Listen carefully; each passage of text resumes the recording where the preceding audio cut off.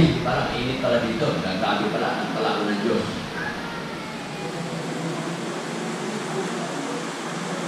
Kaya wag na kayong mag-backslide. Tatay ko, living na yan. Living proof yan. May backslide si Papa. Inaro ng Panginoon niya. Ako noon, hindi pa ako Kristiyano. Pero naitiyan ako. Ang sabi niya, anak ako ng Diyos kasi pinalo ako. Sipin niya. Hindi siyempre narinig ko yun.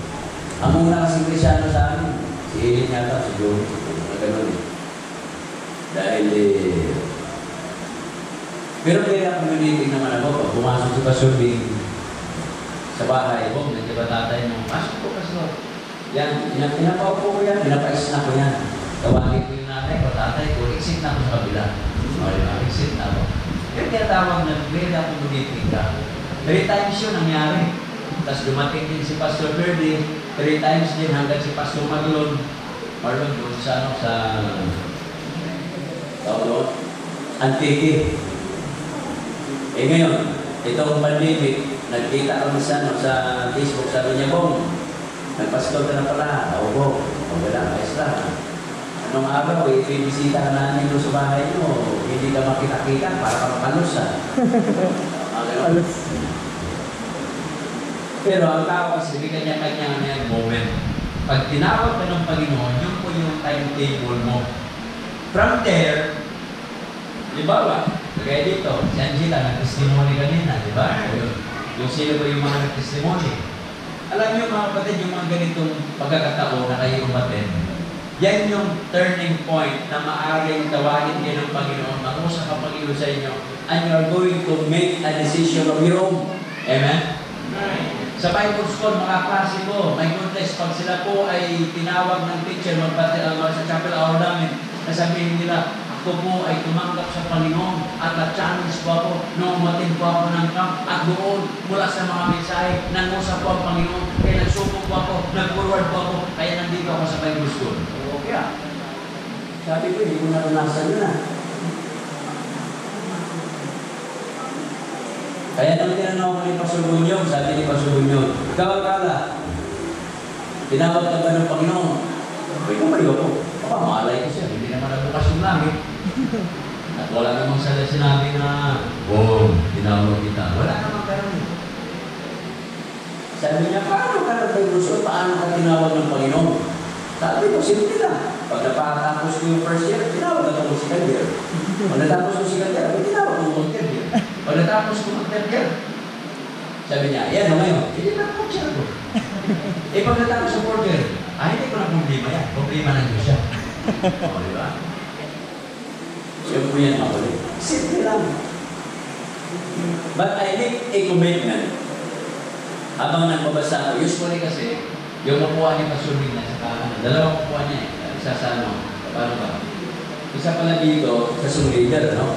Song leader MC. So, yung Pastor Mina dito. Ako, pagka ano, kasi malapit sa piano, at may ilaw doon na maliit, doon na pumupo. At lagi ako nang babasa ng Biblia. Na literally, walang audience, nandiyan ako sa upuan, nagbabasa ako ng Bible. Iminsan, nakakalimutan ko yung ilaw, yung opisina ni Pastor yung sa baba, akyat dyan. Habang nagbabasa ako ng Biblia, tulog na eh, tulog na. Alam niyo tulog na, nakatulog kayo na ano, magbasa ng Biblia. Para naman ako lang nakatulog, kayo din eh. Lahat naman tayo? Magbasa ng Biblia. Masaklap na, yung Biblia nyo, ginawa nyo mapantulog eh. Pampatulog. Para yung pakita uh, kernel sa ano sa sa Philippine uh, Army doon sa kabik sa Cagayan de Oro. Dumating ng alas 11 ng gabi. Pagdating niya, yung mga sundalo, apa, kung nagising.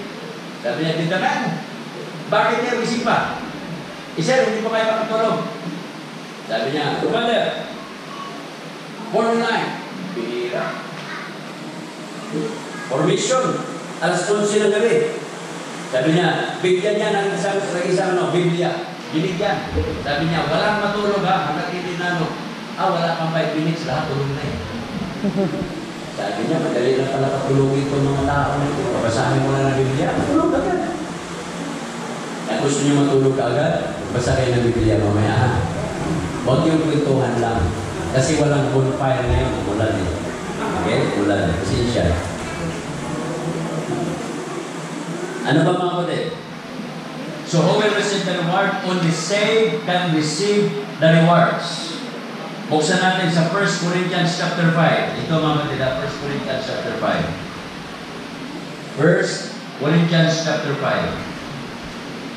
Sa 1 Corinthians chapter 5, ito yung sulat ni Pablo na ginamit niya na pronoun we. Okay? Ibig sabihin, yung word na we, yun yung mga taong tumanggap na sa Panginoon. Kaya tingnan nyo ha.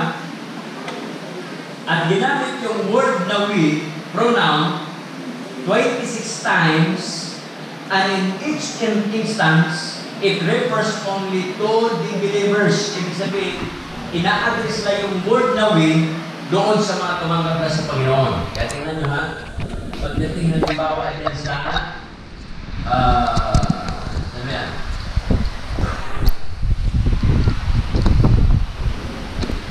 First Corinthians chapter 5. Ay, sorry. Second Corinthians pala. Kaya sabi ko, hindi ko makita yung mga way na yan eh. Second Corinthians chapter 5. Okay? Yan. Sabi na lang kasulatan, For we, verse 1 pa lang, di ba? For we know that our earthly house of this tabernacle will be dissolved. Itong katawan natin, mga batid, will be dissolved. Kahit yan ay pinapaganda natin yan, nilalagyan natin yan, ano pa nilagyan niya dito, foundation, nilalagyan niya dyan ng, uh, dito sa pilig mo na, pinapahaba yun. Tapos may nga tawag doon, ah, ang mga babae yung ginagano gano'n, di ba?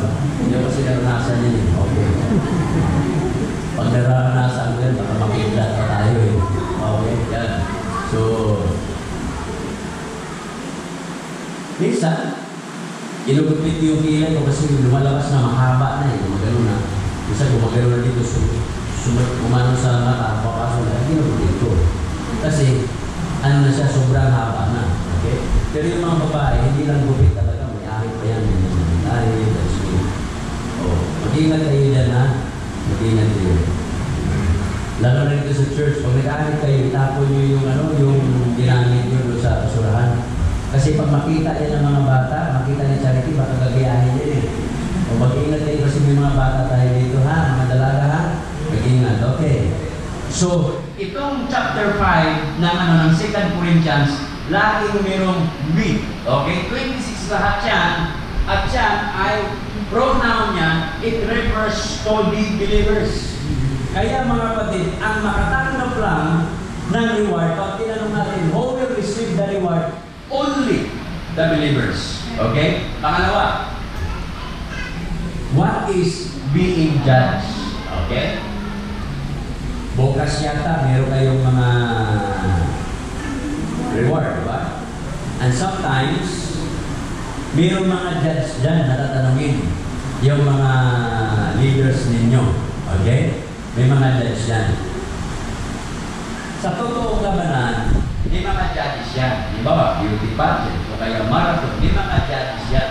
Pero mga kapatid, dito, bilang mga mananampalataya, ang tanong, what is being judged? Okay? So, kanina, sa nabanggit ko na, no, in marathon, another race of contest, it is all about performance level and